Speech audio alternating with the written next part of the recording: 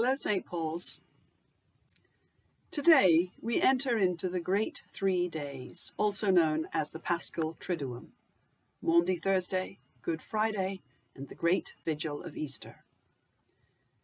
Each day's observance is an integral part of one long service stretched out over three days.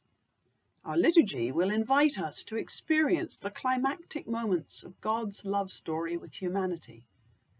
Those who make a commitment to attend the entire Triduum, even virtually, will find their Easter joy enhanced and their faith deepened.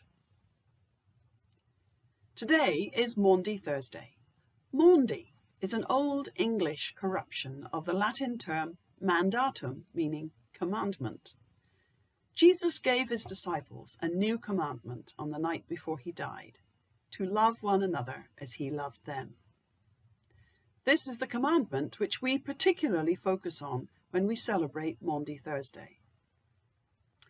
Our evening service, largely rebroadcast from our archive, is primarily a celebration of the Eucharist, commemorating the first Eucharist when Jesus broke the bread, shared the wine, and said, Do this in remembrance of me.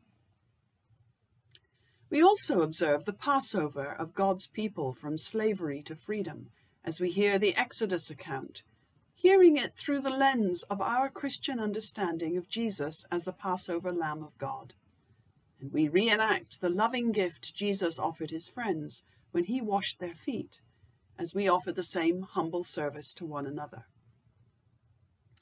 I'm grateful to the Reverend Canon Anthony Guillen, Canon to the presiding bishop for Hispanic Latino Ministries, for sharing a bilingual homily with us tonight.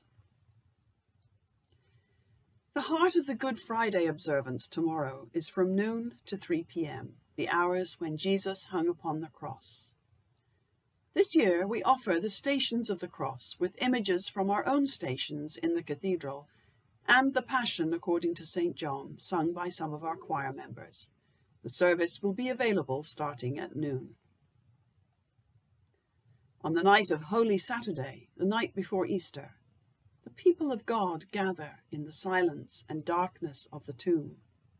They light a flame renewing the fire that is the source of life. They bless the new fire in the name of Christ, and the paschal candle is lit and consecrated. The candle leads the way into the church, a somber procession punctuated by a repeated chant, The light of Christ, thanks be to God. Once the people are seated in the sacred space, the light begins to spread, candle to candle, hand to hand, as a cantor chants the ancient exultet hymn, and the light of Christ begins to drive away the darkness of death.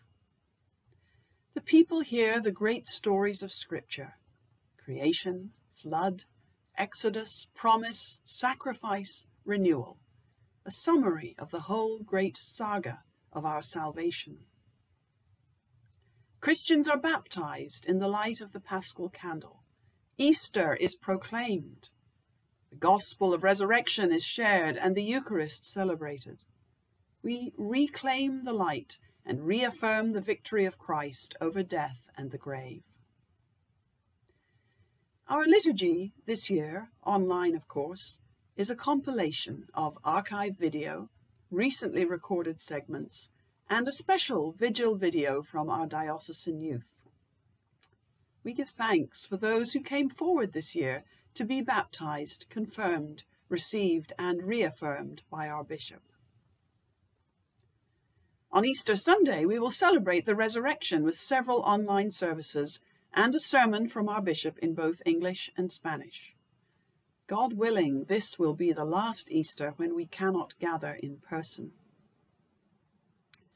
I hope that this Triduum, our liturgies, will lead you deep into the mystery of God's love.